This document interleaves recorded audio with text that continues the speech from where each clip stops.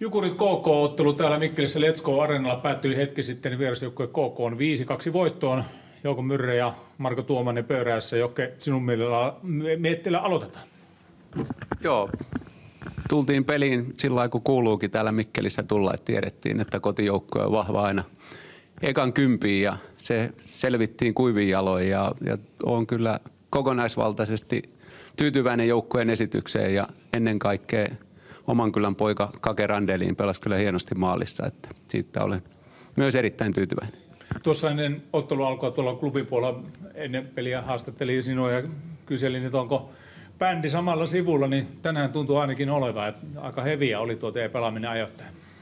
Joo, kyllä siinä varmaan oli muutakin musiikkia, mutta, mutta tärkeintä on tietysti, että nuo jätkät uskoo siihen, mitä ne siellä kentällä sitten tekee. Että se on ehkä se isoin arvo nyt ollut tässä eilen ja tänään, että, että se sitoutuminen, sitkeys on, on sitä, mitä me halutaan koko 60 minuuttia.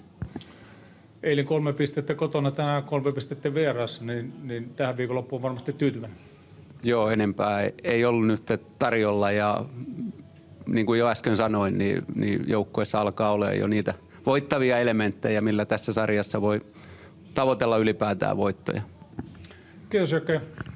Veke, minkälaiset tunnelmat tuosta pelistä kotiokkossa? No eihän ne hyvät ole. Että, että, että, niin kuin Jokke sanoi, että eka kymppiin satsattiin ja tuota, se saatiin ja vaikka siinä perinteinen hupsista maali annettiin vielä siihen kolmen minuutin jälkeen, mutta niin kuin siihen jäähyn, eli se jäähy asti, niin oli todella vahvaa ja se sekoitti meidän peliä ja sitten taas AV-maali siitä vastaan.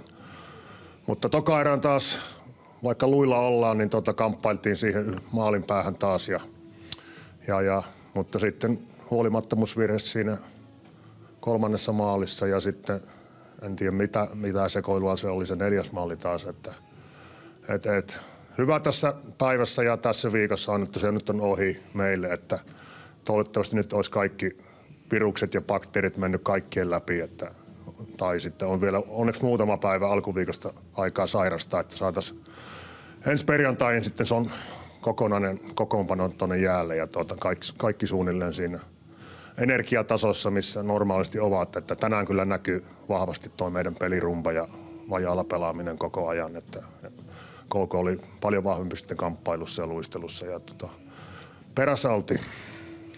Niin kuin sanoit, ei mitään kokolta pois, mutta kyllä sinne oli vähän semmoisia hupsimaaleja seassa. No niin kuin sanoin, kyllä. No, ei muuta kuin kiitoksia herra tästä illasta KKlle 5-2 voitto. Kiitos. Kiitos.